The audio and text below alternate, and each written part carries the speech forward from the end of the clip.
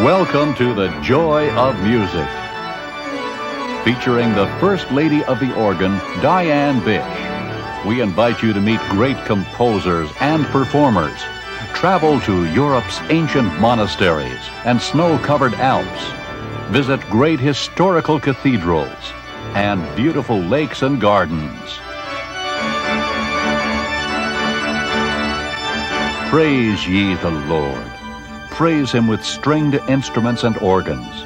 Praise him with a psaltery and harp. Praise him with a trumpet. Let everything that hath breath praise the Lord. And now, Miss Diane Bish. Welcome to the Joy of Music. Today, our program is a very special one because it features the organ, a demonstration on the King of Instruments. The great Ruffatti organ here at the Coral Ridge Presbyterian Church in Fort Lauderdale, Florida, was built in Italy in 1973. It houses 6,642 pipes of all sizes, from the size of a pencil to the massive 32 foot principals, which weigh almost 800 pounds each. Today we're going to be hearing some of these sounds in solo and in combination. With five manuals to choose from, let's begin with the reed stops of the organ. From the old antique reeds to the great horizontal trumpets.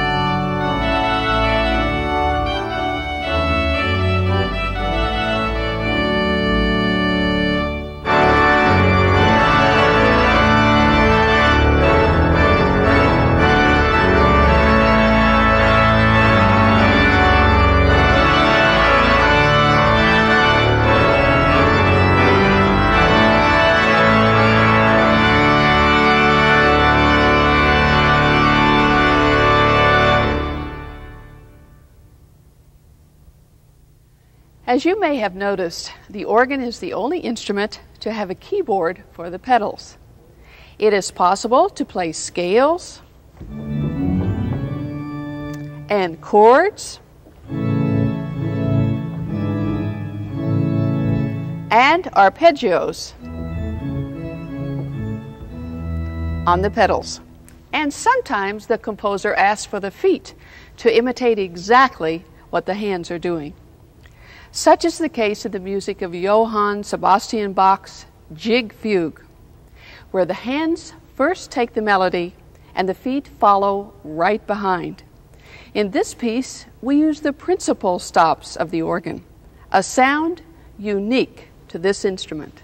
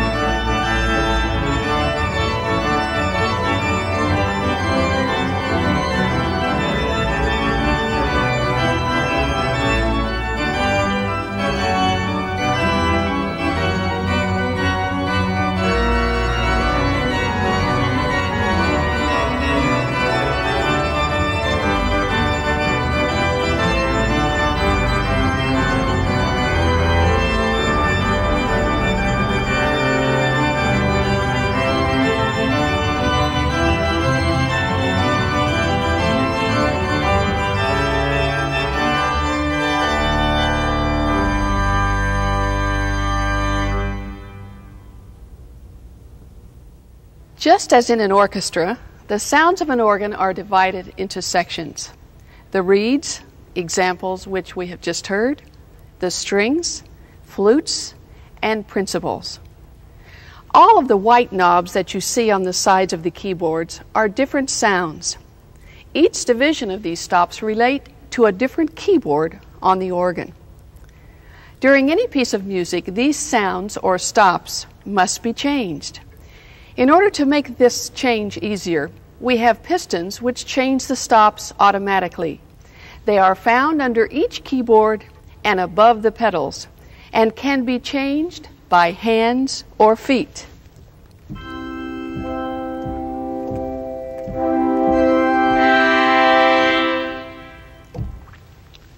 In the famous Arioso of Johann Sebastian Bach, we feature the strings of the organ. But for crescendos and decrescendos, we must not only change stops, but keyboards as well. The feet also work the swell boxes, which make the sounds louder and softer.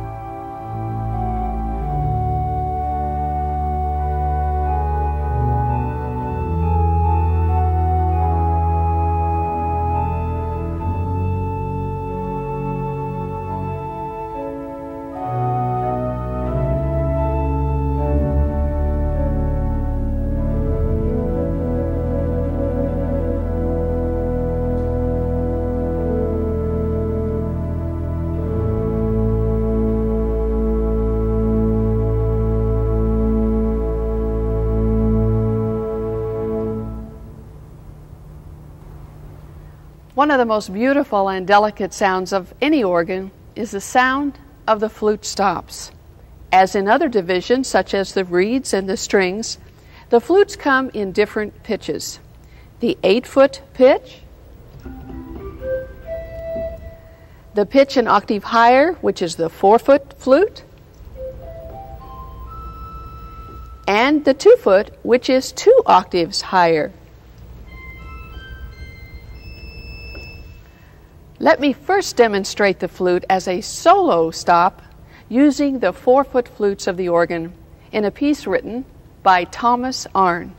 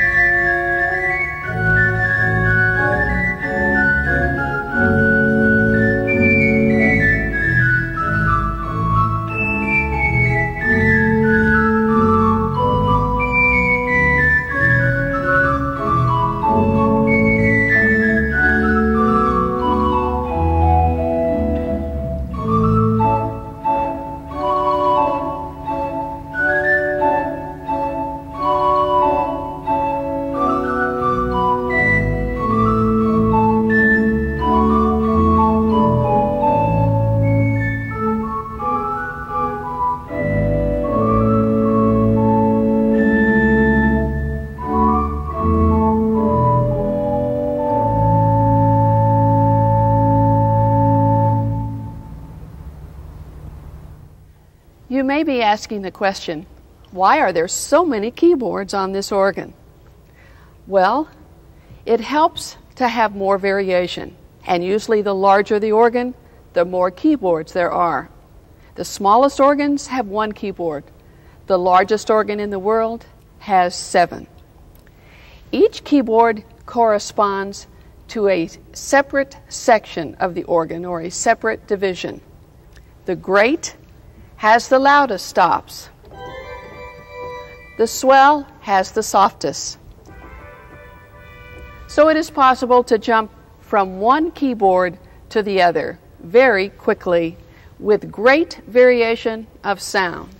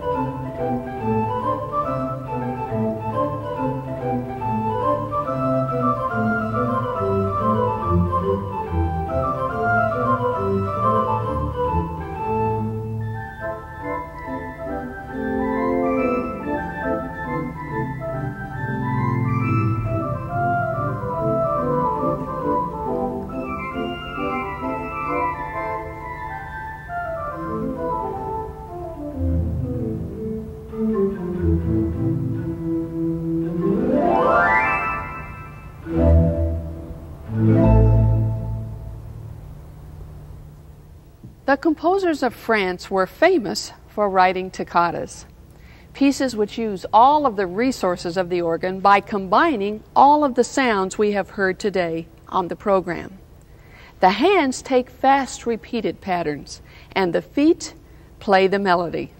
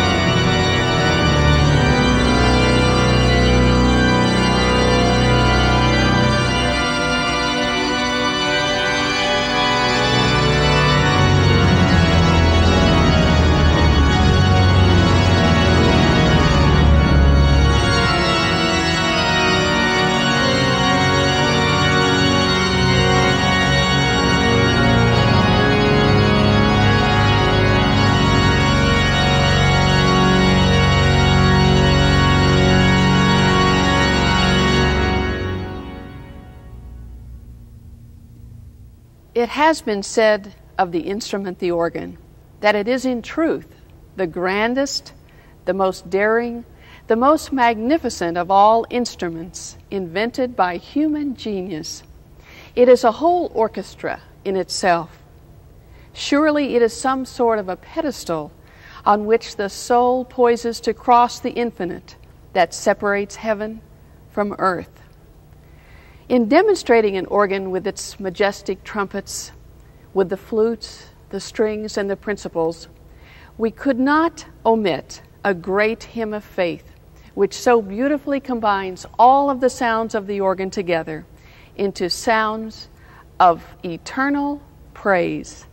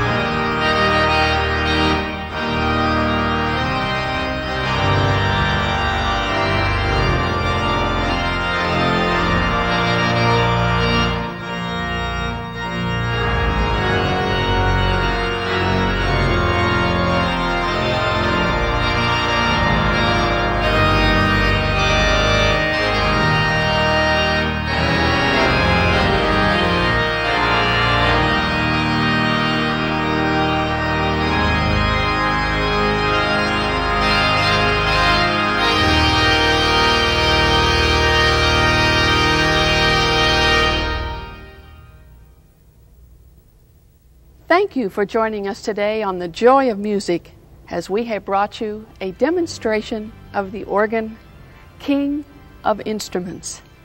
In Psalm 150, we are told to praise the Lord, to praise Him with all kinds of instruments, with trumpets, flutes, psaltery, and harp, with string instruments and organs. The organ is a combination of all these sounds and is a majestic instrument to bring praise and glory to the living God and the living Christ. Thank you for joining us, and we look forward to seeing you again next week on The Joy of Music.